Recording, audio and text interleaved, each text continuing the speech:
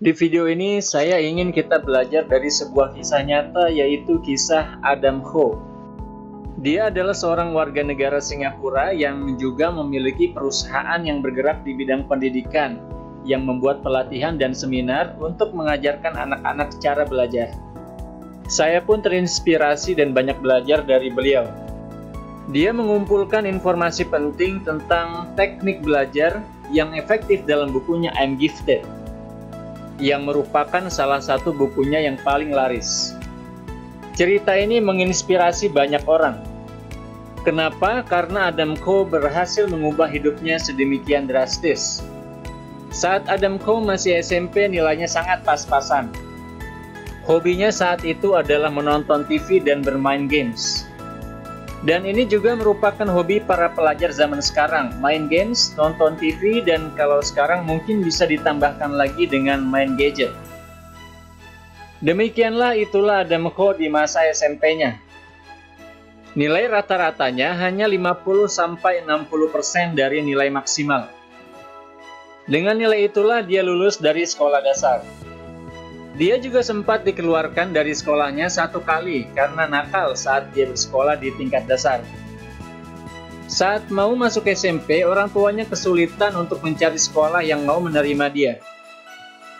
Akhirnya dia berhasil mendapatkan satu sekolah yang tidak terlalu terkenal, yang kebetulan letaknya berdekatan dari tempat dia tinggal, yaitu sekolah Pingyi karena sekolah ini memang di Singapura yang mayoritas penduduknya beretnis Cina sehingga banyak sekolahnya yang menggunakan nama Cina. Di SMP ini dia masih dalam keadaan yang sama seperti sebelumnya. Dia bermalas-malasan, sukanya nonton TV dan main games. Dia tidak konsentrasi belajar dan tidak semangat untuk belajar.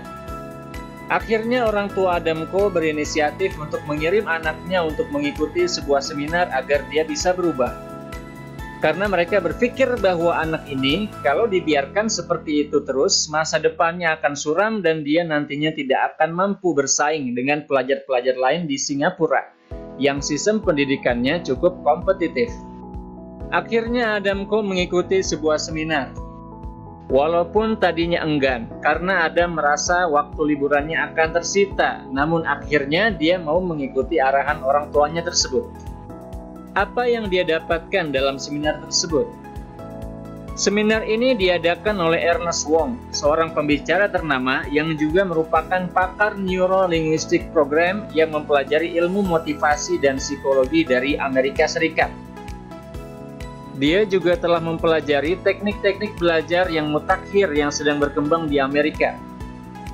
Program yang dibuat oleh Ernest Wong ini bernama Super Teen di program ini Adamko digembleng selama lima hari.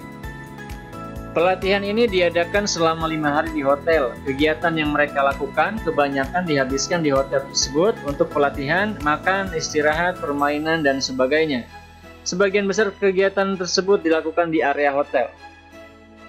Di dalam seminar tersebut, Adamko mendapatkan ilmu tentang cara-cara belajar, dia belajar tentang bagaimana cara membaca cepat, dia belajar membuat mind mapping atau peta pikiran, dia juga belajar bagaimana cara menghafal pelajaran. Dia juga belajar tentang bagaimana memotivasi diri, bagaimana latihan soal. Dia juga belajar bagaimana cara mengatur waktu. Dia juga belajar bagaimana cara membuat jadwal belajar. Intinya dia mempelajari segala informasi yang diperlukan untuk Baik itu trik-trik, tips, teknik-teknik maupun rencana-rencana untuk mendapatkan nilai akademis yang maksimal. Dia belajar tentang bagaimana cara membaca cepat, membuat mind map atau peta pikiran. Dia juga belajar bagaimana menghafal pelajaran, tentang bagaimana memotivasi diri, bagaimana latihan soal. Dia juga belajar bagaimana cara mengatur waktu, dia juga belajar bagaimana cara membuat jadwal belajar. Intinya, dia mempelajari segala informasi yang dia perlukan untuk baik itu trip, trips, ke teknik-teknik maupun rencana-rencana untuk mendapatkan nilai yang maksimal.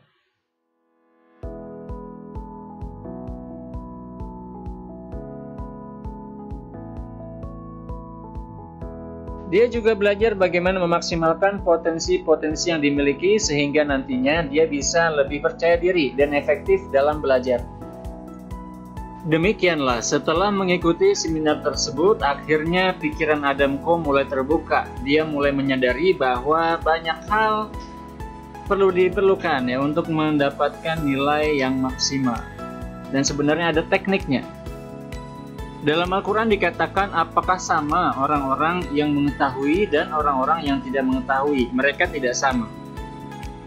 Tidak akan sama orang yang tahu dengan orang yang tidak tahu. Itulah bedanya orang yang berpendidikan dengan orang yang tidak berpendidikan. Bedanya sebenarnya tidak banyak, bedanya juga tidak terlihat, hanya ada di kepala kita. Begitu juga dengan Anda, setelah Anda mendapatkan ilmu ini, ilmu yang dipelajari oleh Adamko, dan juga oleh saya, kehidupan Anda mungkin akan mulai menjadi berbeda dari sebelumnya.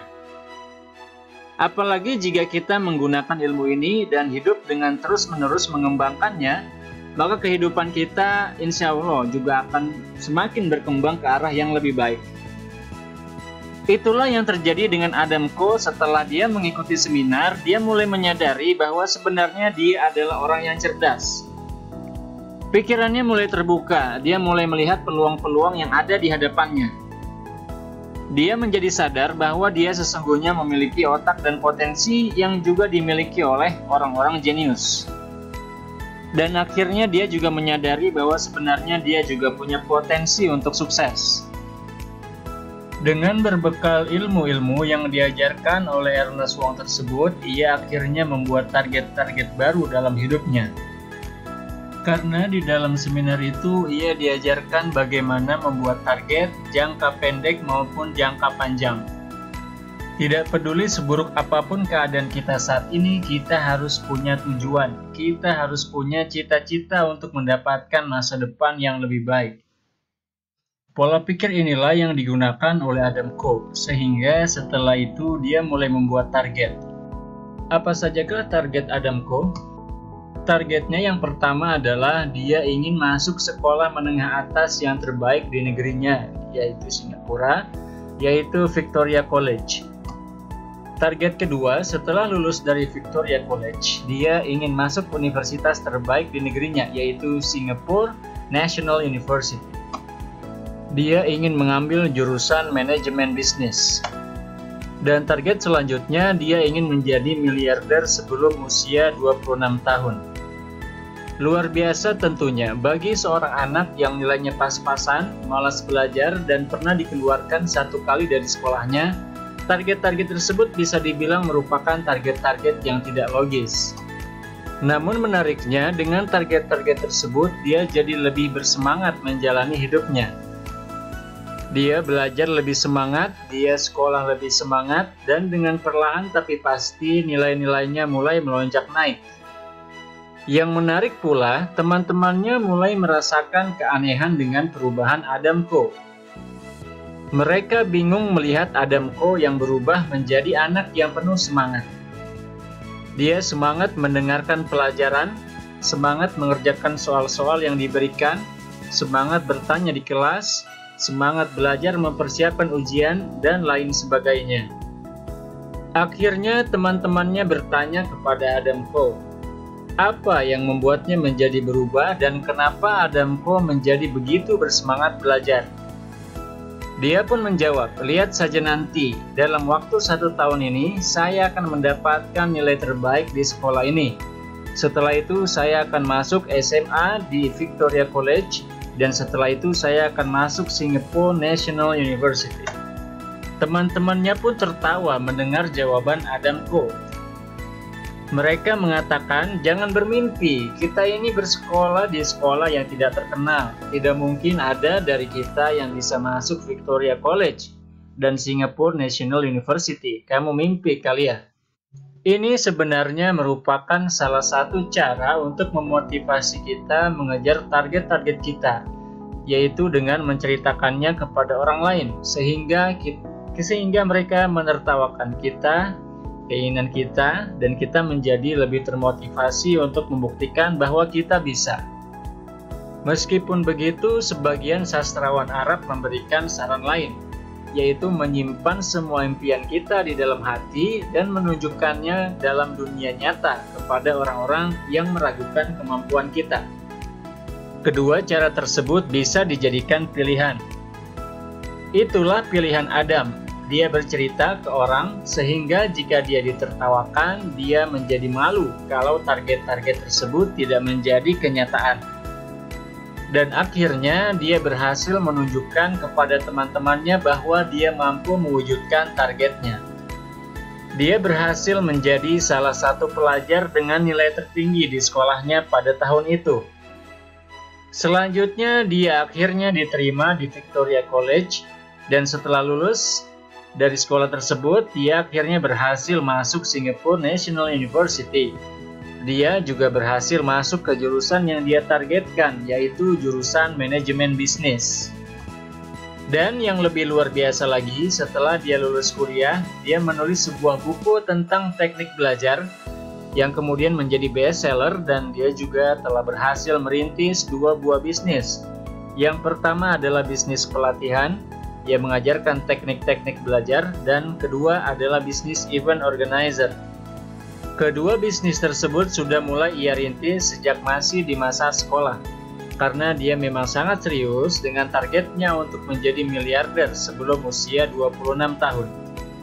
Karena itulah dia sudah mulai berbisnis sejak usia 15 tahun. Sejak usia belia tersebut, dia sudah belajar untuk melakukan pertunjukan sulap di berbagai acara. Dia juga melakukan kerja sambilan di malam hari sebagai DJ. Dari kegiatan sebagai DJ inilah kemudian idenya berkembang menjadi usaha disco keliling. Kemudian dia juga memiliki sambilan sebagai trainer yang bekerja untuk Ernest Wong. Dia mengisi pelatihan-pelatihan tentang teknik belajar. Hingga akhirnya dia memutuskan untuk membuat seminar sendiri dan akhirnya dia berhasil menjual seminarnya sehingga kemudian dia dan partnernya mendirikan perusahaan Adamco Learning Technologies yang bergerak di bidang pelatihan dan pengembangan diri yang melayani pelatihan untuk berbagai jenjang, baik untuk pelajar sekolah, universitas, maupun untuk perusahaan-perusahaan. Dua usahanya tersebut akhirnya menghasilkan keuntungan yang cukup besar sehingga membuat Adamco berhasil mewujudkan targetnya, yaitu untuk menjadi miliarder di usia 26 tahun. Usia yang sangat muda, hal yang sangat jarang kita temukan di masyarakat kita saat ini. Saat di mana teman-teman seusianya masih bergelut bekerja untuk orang lain dan menabung untuk mendapatkan kehidupan yang lebih baik, saat itu Adam Cole sudah berhasil melampaui orang-orang yang lebih tua darinya. Dan akhirnya ia pun menjadi seorang pebisnis ternama yang berhasil mewujudkan kemandirian finansial bagi dirinya dan keluarganya.